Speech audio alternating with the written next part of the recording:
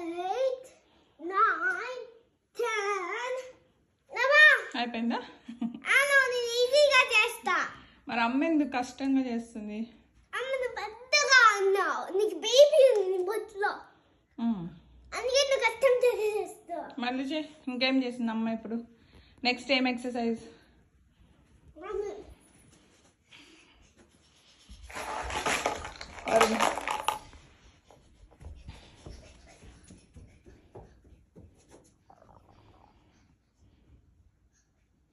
I've been that.